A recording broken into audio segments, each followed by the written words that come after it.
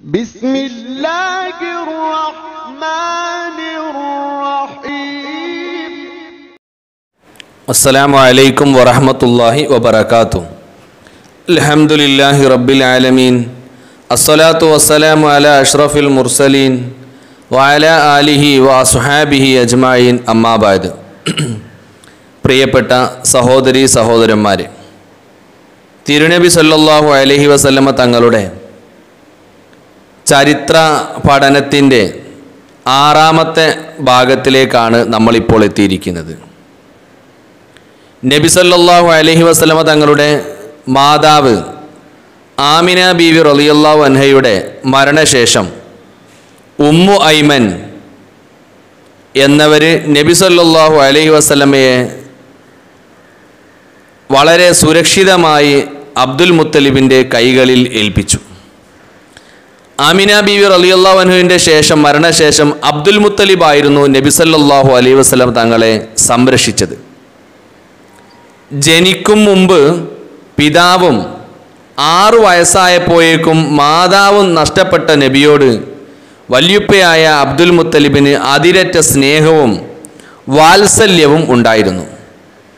കാബയുടെ ചാരത്ത് പ്രത്യേക ഇരിപ്പിടം ഉണ്ടായിരുന്ന അബ്ദുൽ മുത്തലിബ് നബി അലഹി വസല്ലമയെയും അവിടെ ഇരുത്തിയിരുന്നു. എന്നാൽ നബിസല്ലാഹു അലൈഹി വസ്ലമ തങ്ങൾക്ക് എട്ടു വയസ്സ് പ്രായമായപ്പോൾ അബ്ദുൽ മുത്തലിബ് എന്നവരും മരണപ്പെട്ടു. വലിയപ്പ അബ്ദുൽ വല്യപ്പ അബ്ദുൽ മുത്തലിബും മരണപ്പെട്ടു. മരിക്കുമ്പോൾ അബ്ദുൽ മുത്തലിബിന് എൺപത് വയസ്സായിരുന്നു പ്രായം. നബി സല്ലല്ലാഹു അലൈഹി വസല്ലമ തങ്ങൾ അതീവ ദുഃഖിതനായിരുന്നു. കാരണം അനാഥത്വത്തിൽ നിന്ന് നബി സല്ലല്ലാഹു അലൈഹി വസ്ലമ തങ്ങൾക്ക് തണൽ തണലേകിയ വലിയൊരു തണൽ വൃക്ഷമായിരുന്നു അബ്ദുൽ മുത്തലിബ്. ഉപ്പയും ഉമ്മയും വല്യുപ്പയും വിട്ടുപിരിഞ്ഞ നബി സല്ലല്ലാഹു അലൈഹി വസ്ലമ തങ്ങൾ പൂർണ അനാഥത്വത്തിന്റെ രുചി അറിഞ്ഞു. ഗർഭപാത്രത്തിലിരിക്കുമ്പം ഇരിക്കുന്ന സമയത്ത് ഉപ്പ മരിച്ചുപോയി. ജനിച്ച് ആറു വയസ്സ് പൂർത്തിയായപ്പോൾ ഉമ്മയും മരണപ്പെട്ടു. പിന്നീട് ഒക്കെ സംരക്ഷിക്കാനുണ്ടായിരുന്നത് അബ്ദുൽ മുത്തലിബാണ്. മക്കയിലെ നേതാവ് കുറൈശികളിലെ പ്രമുഖനും ഒക്കെ ആയിരുന്നതുകൊണ്ട് ആ സംരക്ഷണത്തിന് വലിയ മാധുര്യമുണ്ടായിരുന്നു. എന്നാൽ അബ്ദുൽ മുത്തലിബും നബി സല്ലാഹു അലൈഹി വസ്ലമ തങ്ങൾക്ക് എട്ട് വയസ്സായപ്പോൾ മരണപ്പെട്ടുപോയി. ഇത് ബനു ഹാഷിമുകൾക്കും അബ്ദുൽ മുത്തലിബിന്റെ വേർപാട് വളരെ വലിയ വ്യസനമായിരുന്നു. മക്കാർക്ക് ഒന്നടങ്കം തന്നെ അബ്ദുൽ മുത്തലിബിന്റെ വേർപാട് വലിയ ദുഃഖത്തിലാഴ്ത്തി. കാരണം എല്ലാ നിലക്കും മക്കയെയും കയബയെയും സംരക്ഷിക്കുന്ന ഒരു വലിയ നേതാവ് തന്നെയായിരുന്നു അബ്ദുൽ മുത്തലിബ് എന്ന് പറയുന്നത്. വിജ്ഞാനത്തിലും സേവനത്തിലും ശക്തിയിലും മുൻനിരയിലുള്ള ഒരാളും തന്നെ അബ്ദുൽ മുത്തലിബിനെ പോലെ വേറെ ആരും ഉണ്ടായിരുന്നില്ല. ബനു ഹാഷിമിൽ അങ്ങനെ അബ്ദുൽ മുത്തലിബിന്റെ അത്ര ഉന്നതിയിലെത്താൻ പറ്റുന്ന മറ്റ് ആരും തന്നെ ഉണ്ടായിരുന്നില്ല. ഇത് മക്കയിലെ സ്ഥിതിഗതികളെ മോശമാക്കി വഷളാക്കി. കാബയിലേക്കും മക്കയിലെ നേതൃപദവിയിലേക്കും പലരുടെയും ചിന്തകളെയും താല്പര്യങ്ങളെയും ഉണർത്തി. പിതാമഹൻ അബ്ദുൽ മുത്തലിബിന്റെ വഫാത്തിന് ശേഷം പിതൃവ്യൻ അബൂ താലിബായിരുന്നു നബി സല്ലല്ലാഹു അലൈഹി വസല്ലമ തങ്ങളുടെ സംരക്ഷണം ഏറ്റെടുത്തത്. അബ്ദുൽ മുത്തലിബിന്റെ മക്കളിൽ ദരിദ്രനായിരുന്നുവെങ്കിലും കുറൈശികൾക്കിടയിൽ ബുദ്ധിമാനും ഉദാരമനസ്കനും ആദരണീയനും ആയിരുന്നു അബ്ദുൽ അബു അബൂ താലിബ്. നബി സല്ലല്ലാഹു അലൈഹി വസല്ലമ തങ്ങളുടെ നിഷ്കളങ്കതയും സത്യസന്ധതയും അബ്ദുൽ മുത്തലിബിനെ വല്ലാതെ ആകർഷിച്ചിരുന്നു. അബൂ താലിബും നബി സല്ലല്ലാഹു അലൈഹി വസ്ലമ തങ്ങളെ വല്ലാതെ സ്നേഹിക്കുകയും സംരക്ഷിക്കുകയും ചെയ്തു പോന്നു. പിതാവില്ല മാതാവില്ല സംരക്ഷിക്കാൻ വല്യുപ്പയും ഇല്ലാത്ത ആളെ പിതൃവ്യനായ അമ്മ നബി സല്ലല്ലാഹു അലൈഹി വസ്ലമ തങ്ങളെ പിതൃവ്യനായ അബൂ താലിബാണ് പിന്നീട് സംരക്ഷിക്കുന്നത്. ഒരിക്കൽ അബൂ താലിബിന് വ്യാപാര ആവശ്യാർത്ഥം ഷാമിലേക്ക് പോകേണ്ടതായി വന്നു. നബി സല്ലല്ലാഹു അലൈഹി വസല്ലമ ത- തങ്ങളെയും ആ ഒരു യാത്രയിൽ കൂടെ കൂട്ടി. യാത്രയിൽ ബസറ എന്ന് പറയുന്ന സ്ഥലത്ത് യാത്രയുടെ ക്ഷീണങ്ങൾ അകറ്റാൻ വേണ്ടി ആ യാത്രാ സംഘം ഇറങ്ങി. ആ ഒരു സ്ഥലത്ത് ഒരു പ്രത്യേക കൂടാരം കെട്ടി അതിൽ ഒരു ബഹീറ എന്ന് പറയുന്ന മനുഷ്യൻ ഇരിക്കാറുണ്ടായിരുന്നു. ആരോടും കൂടുതലായി ഒന്നും സംസാരിക്കാതെ മൗനിയായിക്കൊണ്ട് പ്രത്യേക ചിന്തകളിലൂടെ ജീവിക്കുന്ന ബഹീറക്ക് പൂർവകാല വേദങ്ങളിലൊക്കെ വലിയ പാണ്ഡിത്യമുണ്ടായിരുന്നു. അങ്ങനെ അബൂ താലിബിന്റെ ഈ ഒരു കച്ചവട സംഘം ആ ബഹീറയുടെ കൂടാരത്തിന്റെ സമീപത്ത് അവിടെ ക്ഷീണമകറ്റാൻ വേണ്ടി വന്നിറങ്ങി. ഈ സംഘത്തെ സൂക്ഷ്മമായി നിരീക്ഷിക്കുകയായിരുന്നു ബഹീര അദ്ദേഹം തന്റെ കൂടാരത്തിൽ നിന്ന് എഴുന്നേറ്റ് നേരെ അവരെ സമീപിച്ചു.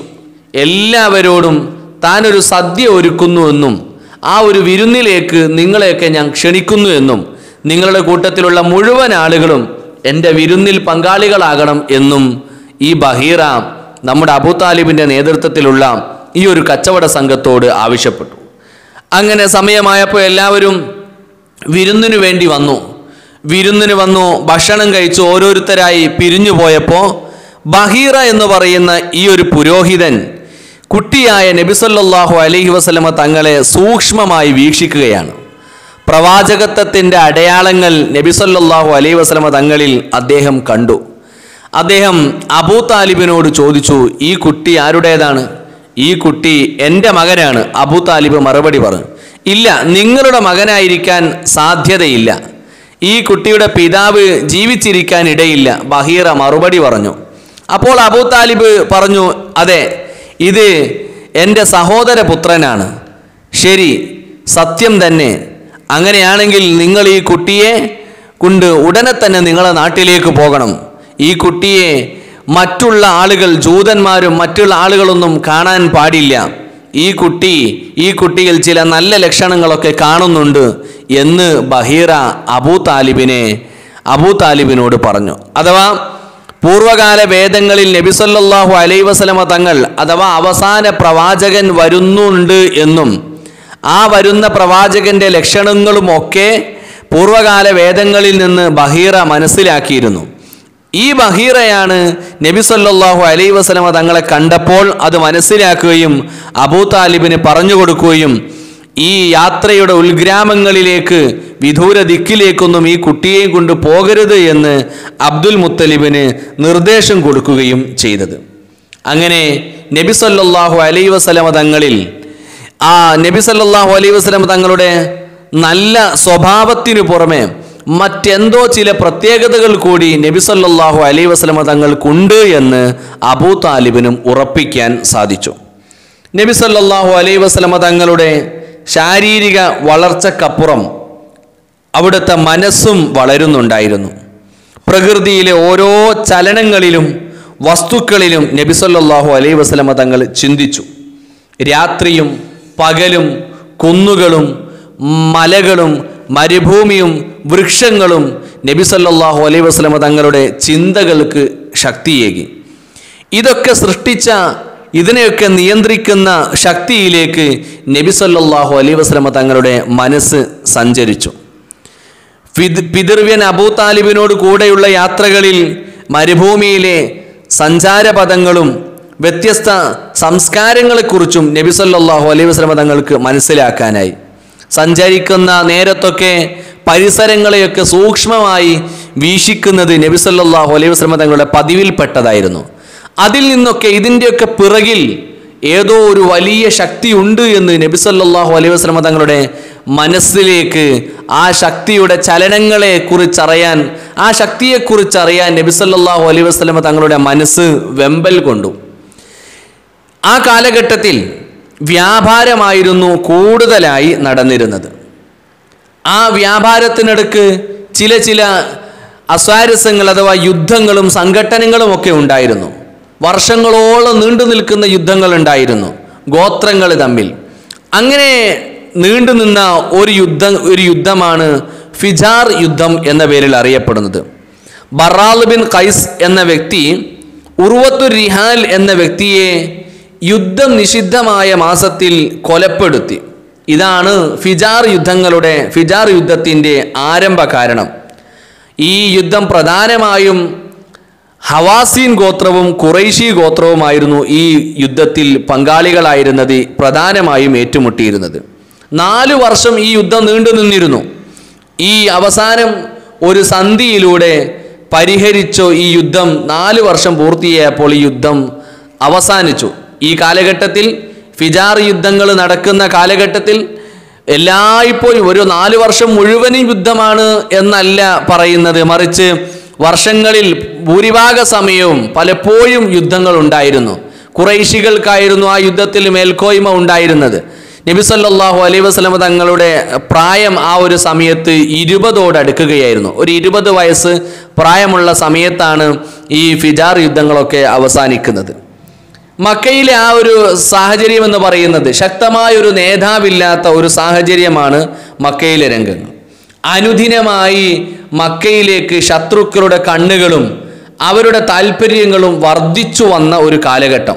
മക്കക്കെതിരെയും കാബയ്ക്കെതിരെയും ഒക്കെ യുദ്ധം ചെയ്യാൻ ചില ഗോത്രങ്ങളൊക്കെ ധൈര്യം വന്നു.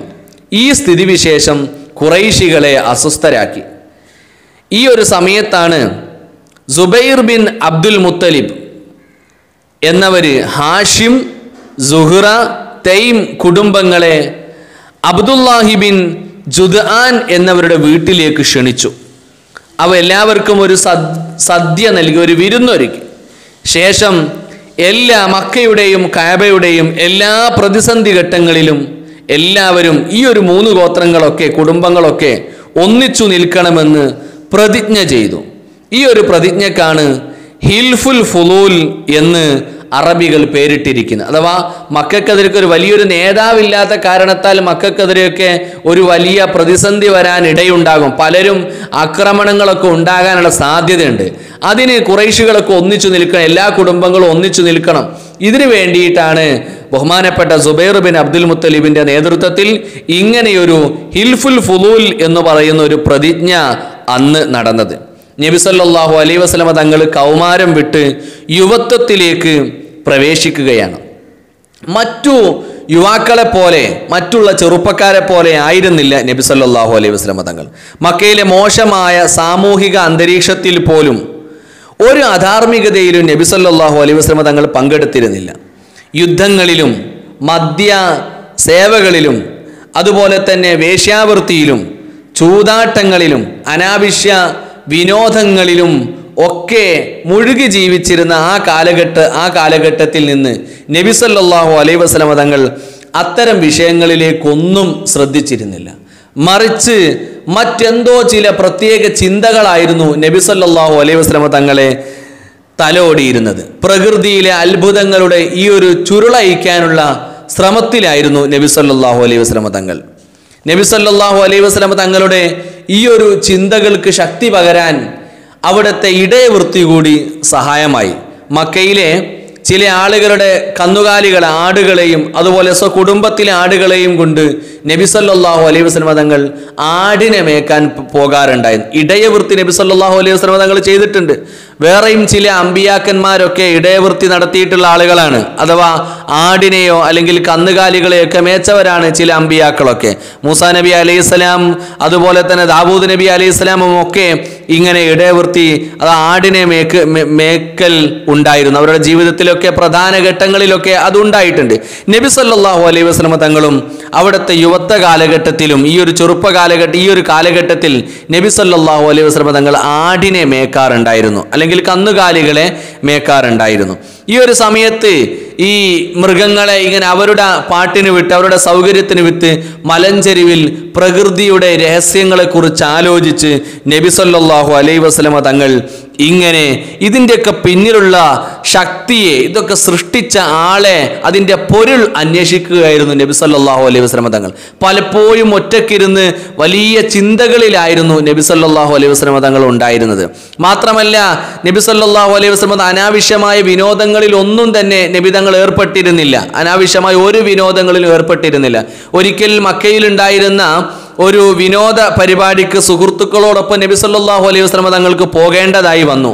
അങ്ങനെ സുഹൃത്തുക്കളോടൊന്നിച്ച് പരിപാടി നടക്കുന്നതിന് മുമ്പ് തന്നെ നബി സല്ലാഹു അലൈഹി വസ്ലമ തങ്ങൾ അവിടെ എത്തി. അല്പം മാറി പരിപാടി തുടങ്ങുന്നതിന് മുമ്പ് നബി തങ്ങൾ അവിടെ ഒരു സ്ഥലത്ത് ഇരുന്നു. അങ്ങനെ ഇരിക്കുകയും ഉടനെ തന്നെ നബി സല്ലാഹു അലൈഹി വസ്ലമ തങ്ങൾ ഉറങ്ങിപ്പോവുകയും ചെയ്തു. അങ്ങനെ ആ ഉറക്കം പിന്നീട് ഉണർന്നത് പരിപാടിയൊക്കെ കഴിഞ്ഞ് എല്ലാവരും സ്ഥലം വിട്ടതിന് ശേഷമാണ് നബിസല്ലാഹു അലൈഹി വസ്ലമ തങ്ങൾ ഉണർന്നത്. ആ ഒരു വിനോദ പരിപാടി കേൾക്കാനോ അതിൽ പങ്കെടുക്കാനോ അത് ശ്രവിക്കാനോ കാണാനോ ഒന്നും നബിസല്ലാഹു അലൈഹി വസ്ലമ തങ്ങൾക്ക് കഴിഞ്ഞിരുന്നില്ല. അഥവാ അള്ളാഹു നബിസല്ലാഹു അലൈഹി വസ്ലമ തങ്ങളെ അങ്ങ് ഉറക്കിക്കളയുകയായിരുന്നു. കാരണം എന്താണ്? ഭാവിയുടെ പ്രവാചകൻ അനാവശ്യമായതൊന്നും കേൾക്കരുത് കാണരുത് അനാവശ്യ പ്രവർത്തനങ്ങളിൽ ഇടപെടരുത് എന്ന് അള്ളാഹുവിനും നിർബന്ധമുണ്ടായിരുന്നു. അതുകൊണ്ടാണ് നബി സല്ലല്ലാഹു അലൈഹി വസല്ലമ തങ്ങളുടെ ഹൃദയവും അവിടുത്തെ ശരീരവും അവിടുത്തെ മനസ്സും അവിടുത്തെ കണ്ണുകളുമൊക്കെ അള്ളാഹു നിയന്ത്രിച്ചിരുന്നത്. അതുകൊണ്ടാണ് നബി സല്ലല്ലാഹു അലൈഹി വസ്ലമ തങ്ങൾ ഈ ഒരു ഈ ഒരു വളരെ മോശമായ മക്കയുടെ സാമൂഹിക അന്തരീക്ഷത്തിൽ നിന്ന് ഒരു തെറ്റ് പോലും ചെയ്യാതെ ഒരു കളവ് പോലും പറയാതെ ഒരു മോശപ്പെട്ട യാതൊരു സ്വഭാവവും നബിതങ്ങളിൽ നിന്നുണ്ടാകാതെ നബി സല്ലാഹു അലൈഹി വസ്ലമ തങ്ങൾ ജീവിച്ചത്. അതുകൊണ്ട് തന്നെ അത് മറ്റുള്ള ആളുകൾക്കൊക്കെ അത്ഭുതമായിരുന്നു നബി തങ്ങളുടെ ഈ ഒരു ജീവിതവും ഈ ഒരു ശൈലിയും നബി തങ്ങളുടെ ഈ ഒരു ശൈലി. അതുകൊണ്ട് തന്നെ മക്കാരൊക്കെ സ്നേഹത്തോടെ നബി സല്ലാഹു അലൈഹി വസ്ലമ തങ്ങളെ അൽ അമീൻ എന്ന് സ്നേഹത്തോടെ വിളിക്കുകയാണ്. ഈ രൂപത്തിൽ നബി സല്ലാഹു അലൈഹി വസ്ലമ തങ്ങൾ മക്കയുടെ സാമൂഹിക പശ്ചാത്തലത്തിൽ വളരുകയാണ്. ഇപ്പോൾ നബി സല്ലാഹു അലൈഹി വസ്ലമ തങ്ങളുടെ പ്രായം ഇരുപത്തി അഞ്ചിലേക്ക് എത്തുകയാണ്. നബി സല്ലാഹു അലൈഹി വസ്ലമ തങ്ങളുടെ പ്രായം ഇരുപത്തി അഞ്ചിലേക്ക് എത്തുകയാണ്.